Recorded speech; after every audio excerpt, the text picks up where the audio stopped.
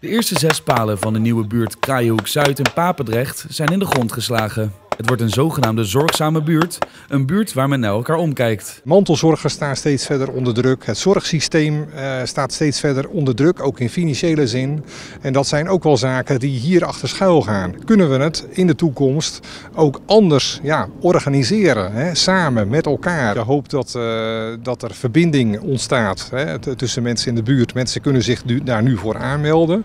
Hè, als ze echt gemotiveerd zijn om daar een bijdrage aan te leveren, hè, dan, dan uh, gaat Woonkracht 10 ook een proces lopen met deze ja, mogelijk toekomstige bewoners van de wijk. Om ook te zien van hey, leidt het tot een match en kunnen uh, mensen, jong en oud, daar samen invulling aan gaan geven. Voor de nieuwe buurt zijn 99 woningen gesloopt en er komen er 134 voor in de plaats. In 2026 worden de eerste woningen opgeleverd.